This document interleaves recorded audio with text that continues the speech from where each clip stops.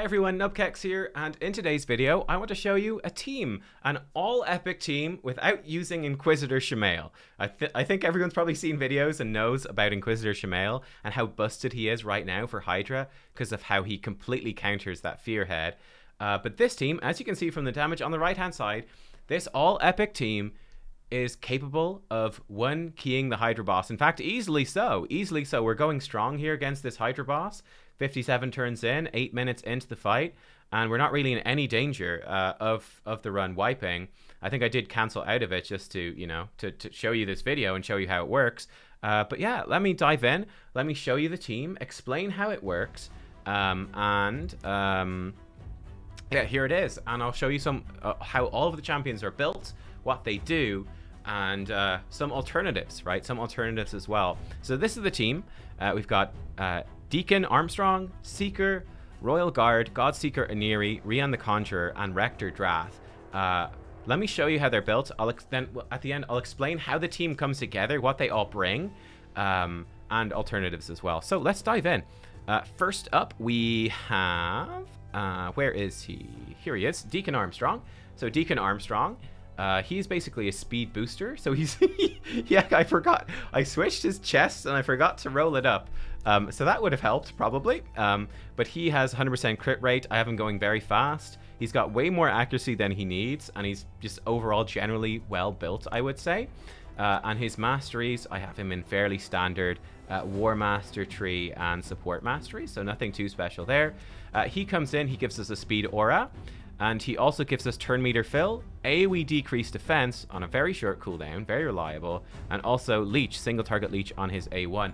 This is this is a big part of my strategy here, which is that the Hydra is very quick, uh, especially the head of Mischief, which steals turn meter when it attacks you. It's the fastest head. Um, that's pretty bad.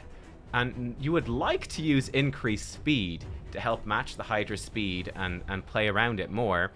But that's just too dangerous, right? If you put increased speed on your team, then it gets stolen by that head of mischief and it spreads increased speed around all the Hydra heads, you are going to die so fast, it's not even funny.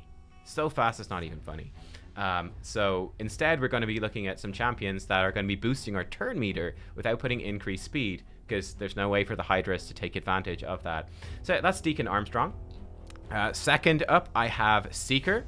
So Seeker comes in. Uh, I thought this would be useful. I don't think it ever procced, actually. But whenever Seeker gets crit, uh, it heals him by 20%, and it puts increased defense on all of your team uh, for two turns. So I thought that'd be a nice thing to help keep us alive if we were crit. I don't think it ever procced, though. Uh, again, he does the turn meter thing. So, three turn cooldown, 30% turn meter fill, 50% increased attack buff on all allies, and it gives an extra turn. And then his A1 does damage. I have him built for Bad Eater, so he's got pretty good gear overall. I would say roughly good gear. So high crit rates, uh, very, very fast, um, and then just solid overall stats as well. Uh, and then for his masteries, he's in Bat Eater masteries uh, right now. So he does have War Master in the corner. You can't see it, but it's there. War Master's there. Um, one thing that's a little bit clunky here is that deterrence counterattacks has a chance to counterattack when you get well relevant for the Hydra when you're feared or true feared. This can be bad because he can counterattack when he doesn't have Perfect Veil, and then he also gets True Feared, which isn't ideal. Uh, but hey, this is just how I have him built for Bad Eater. I'm not going to change him because I, my Bad Eater needs to work. Uh, so yeah, that's that's what I'm running with him. Uh, next up, we have maybe a bit of a surprise. Uh, for damage, we have Royal Guard. So Royal Guard comes in.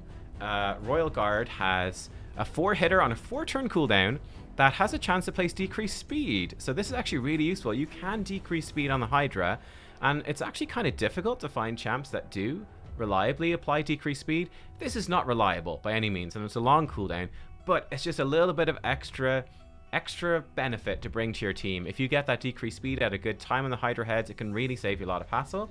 His A2 is the big move, 4 turn cooldown takedown, AoE, damage based off of enemy max HP. So this does a big chunk of AoE damage, and then his A1 can also place decreased defense, so a bit of backup decreased defense. So he's bringing a couple of nice debuffs. He's bringing like decent overall damage, and then he has a big AoE nuke that actually works pretty well against Hydra. It's capped against Hydra, but it's still good. Um, and he brings that on a four turn cooldown. For his masteries, again, these are probably not optimized. Um, probably he'd be better for Hydra with War Master. I have him with Flawless Execution because I used to use him for dungeon runs and stuff like that. Um, so I could probably redo these masteries. I wouldn't actually follow those, to be honest. And then his ring's not rolled up, actually, his ring. Um, it's not glyphed either. Nice defensive ring. Uh, but yeah, as you can see with Royal Guard, we're not worried really about his attack. Gave him a bit of attack, but just upping his health, his defense a bit, boost those defensive stats. He's decently fast, 100% crit rate, acceptable accuracy, and he's got lots and lots of crit damage. Um, so obviously this build is going to be pretty hard for newer players to hit, no question about it. For example, he's got like a HP percent chest. But um, if you can, he can potentially do lots of damage. I'll show you some alternatives like HP burn, which are probably better. I just don't have any epic AoE H burners left. Um, who's up next? Okay, then we have a bunch of revivers, right? Let me just double check. yeah, we've got like three revivers actually. Funny enough, that we don't uh, we don't necessarily need to use all of those revives. So uh, reviver number one, whose revive we actually do use, is is Rector Drath. So she's very good, and again I've got her built very well. Uh, but her A3 is a revive, 60% HP and turn meter, and perfect veil for three turns. Very nice. Very good single target revive. Her A2 is the big reason to bring her, or one of the big reasons to bring her. AoE heal for everyone, nice. And then it also puts perfect veil for two turns and everyone at full HP. Otherwise, a continuous heal if they're lower on. So this is much worse. It's much better when they're high on health, which is doable with this team comp for Hydra. Um, but yeah, Perfect Veil lets you attack the head that puts fears on without getting fears, without getting those true fears, which is huge. Uh, it's really, really huge. Downside is it's a two turn buff with a four turn cooldown. So you're not going to have it up 100%. Uh, so she won't 100% protect you at all. But she combos very well with the next champion I'm going to show you, Godseeker Aniri, to make this more reliable. Her A1 is a very unrel unreliable decrease attack, but it's something. Then her passive is great. Whenever someone under Veil or Perfect Veil gets a turn, she heals them by 10% max HP and gives them 50 resistance too, which helps you just resist all the debuffs, resist the buff steals, all of that. Um, her masteries, she's in, you know, War Master plus healing sort of stuff, you know, potential to increase the buff duration, which is great. More speed when people are dead so she can revive them, that sort of thing. Uh, and she's, again, built, I would say, very well. She's very fast, guys. Very, very, very fast. Uh, she's got lots of resistance as well, tons of it. I think that's probably enough resistance. Probably even for uh, Hydra Nightmare difficulty. So uh, then lots of HP, um, enough accuracy for now, and that's it. But yeah, she's super quick. So, you know, these are accessible, more accessible champions, obviously, than legendaries, but some of these builds are, you know, some of them are pretty good. Some of them aren't that good. Some of them are good, though. Uh, next up, we have, uh, we'll come to Rian last. Uh, Godseeker Aniri, she's very strong for this, guys. Very strong. Um, number one, Quest for Meaning. Uh, three turn cooldown. A, we attack. A, we heal for you. Decreases buffs on enemies by one turn. Fantastic to limit those buffs. Um, excuse me. Oh, Jesus. I almost sneezed, but I'm fine. I think I'm fine. Oh, it's still there. It's lingering. We're going to power through. I'll jump away if I'm going to sneeze. Um, but yeah, we don't have uh, we don't have reliable block debuff, uh, block buffs, debuff, uh, in this team. So whenever the head of mischief steals stuff, he he can steal stuff, and he can spread it to his team. And the other Hydra heads obviously can put buffs on themselves as well, like ally protect and reflect damage and that sort of thing.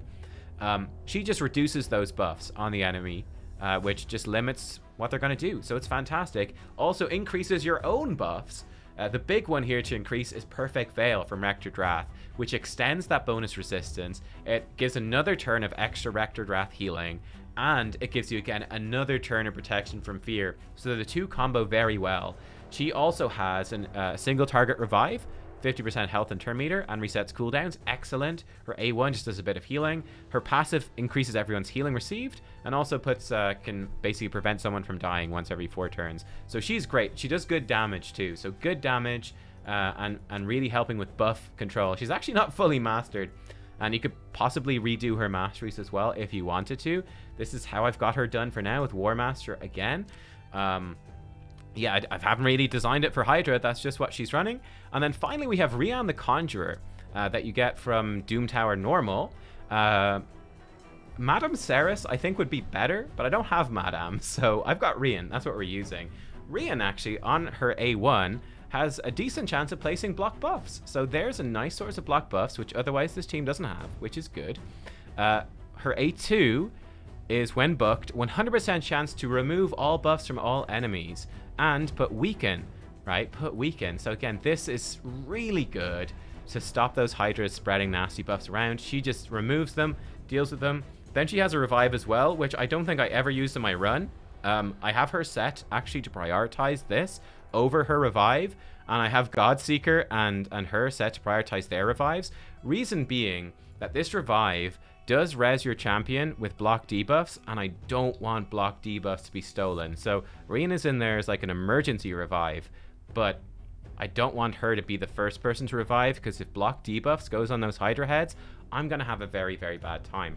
Uh, and Rian's build, um, accessories not rolled up. Um, I built her for PvP, to be honest. So she's very fast and tanky and has way too much accuracy.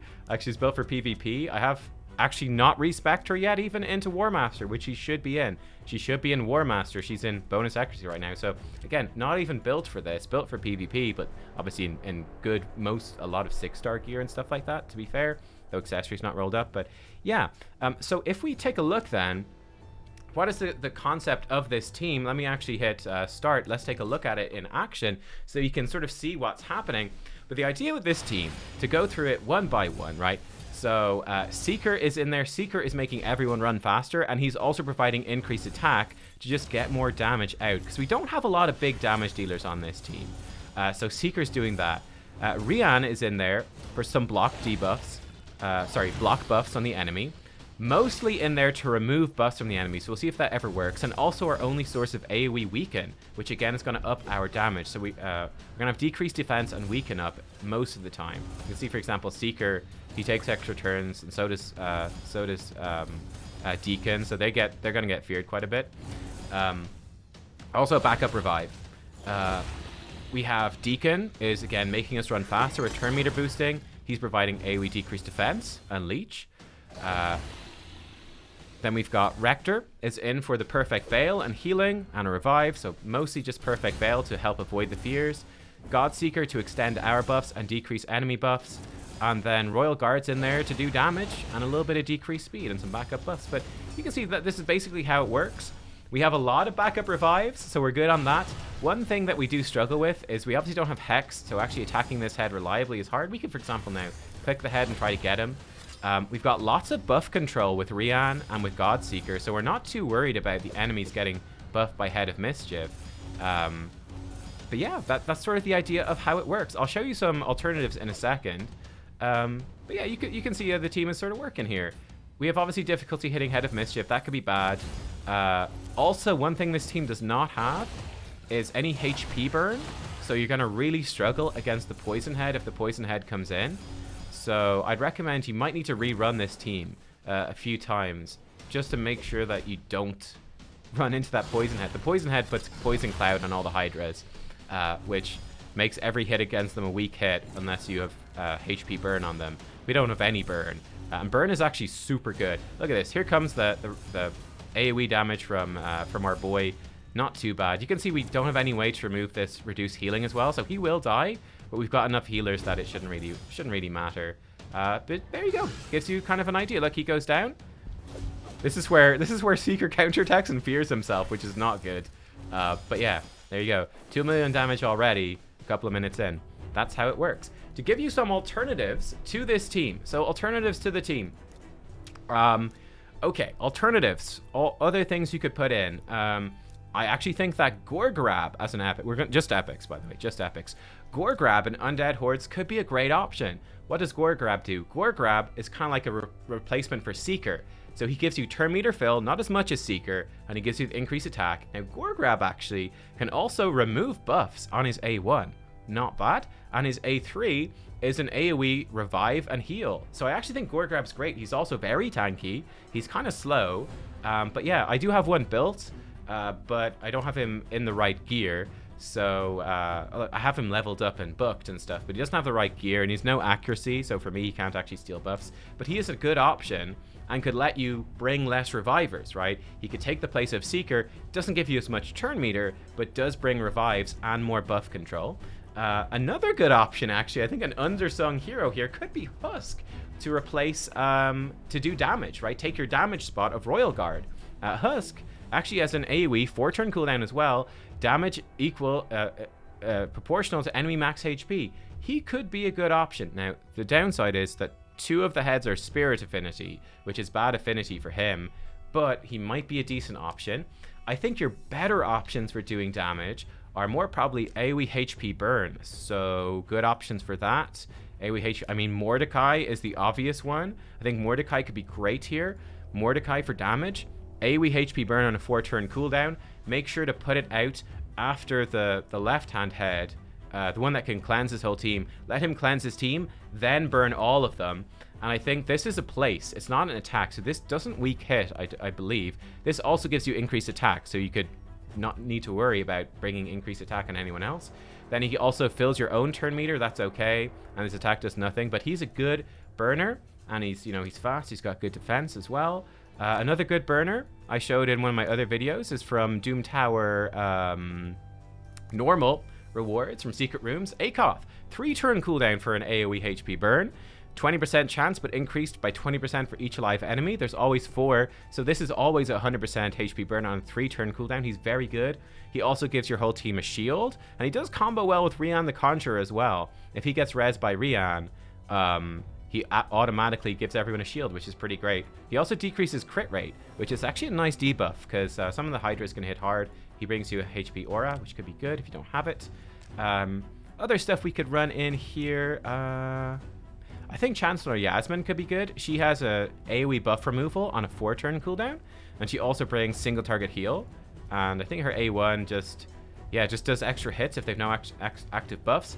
And she brings you uh, ally speed in all battles. Yasmine is very good. Again, not the best affinity for this rotation, but she could be a great option. I don't have her built because I have Sethallia, who's like super Yasmine, basically. um, but she's a decent option. Um, yeah, uh, in terms of replacing uh, Deacon, the decreased defense, I think Stag Knight, very good. Decreased defense and, and attack on a three turn cooldown. He also brings decreased speed on his A1, which is very nice. Uh, in Orcs, a good alternative would be Dhukk to bring you decreased defense, decreased attack. He also brings decreased accuracy in his A1, so he's great and he's very tanky too.